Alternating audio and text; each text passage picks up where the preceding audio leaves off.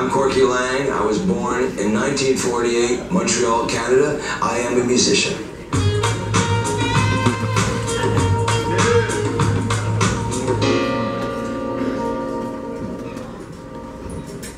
I like to think I lie all the time. To a certain extent, I think I bullshit myself right through life to this extent, and um, it's become so. My lies have become so good that they're true now.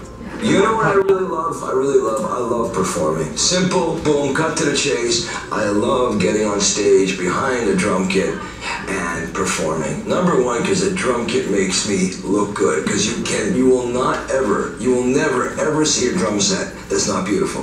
Every drum set is beautiful. So when you sit behind it, you can't help but feel beautiful.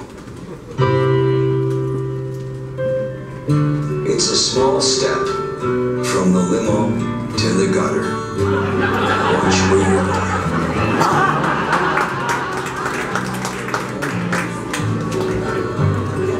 Not legal. I'm doing it for Corky. Oh, I guess it's legal. Yeah. Gentlemen, please welcome to the stage celebrated writer Larry Ratso Sloman.